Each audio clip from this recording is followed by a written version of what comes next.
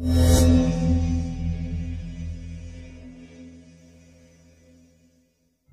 एक यूट्यूबर हूँ। दो साल से मैं अपने यूट्यूब वीडियोस पर काम कर रहा हूँ। अभी तीन चार दिन पहले मैंने एक वीडियो अपलोड किया था, पर मेरे कमेंट बॉक्स में हर कोई विनोद विनोद लिख रहा था। पहले तो मेरे समझ में कुछ नहीं आया, पर जब मैंने उसके बारे में थोड़ा सा सर्च किया तो मुझे पता चला कि विनोद कौन है, और हर कोई कमेंट में विनोद क्यों लिख रहा है। मैंने वो बात तभी छोड़ दी थी, पर अगले ही दिन मुझे एक मेल आया कि मैं विनोद हूँ और मैं तुम्हें मार दूँगा। इस बात पे मैं बहुत हंस पड़ा। मुझे लगा कि ये मेरे कोई सब्सक्राइबर की शरारत है। उसके अगले ही दिन मेरे इंस्टाग्राम के हैंडल पर मुझे एक ऐसा ही मैसेज आया कि मैं तुम्हें मार दूँगा।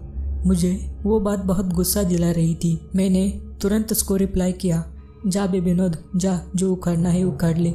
फिर अगले ही दिन मुझे एक ईमेल आया कि आपका यूट्यूब चैनल डिलीट हो गया है, पर कारण स्पेसिफिक नहीं था और उस मैसेज के लास्ट में लिखा था, विनोद, मैं अब डर गया था।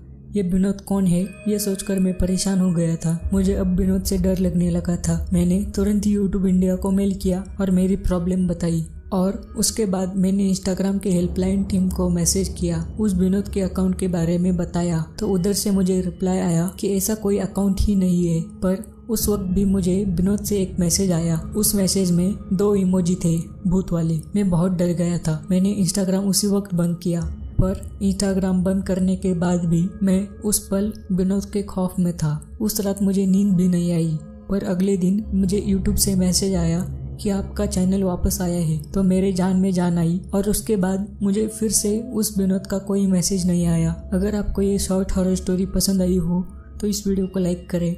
और चैनल को सब्सक्राइब करें। तब तक के लिए अलविदा।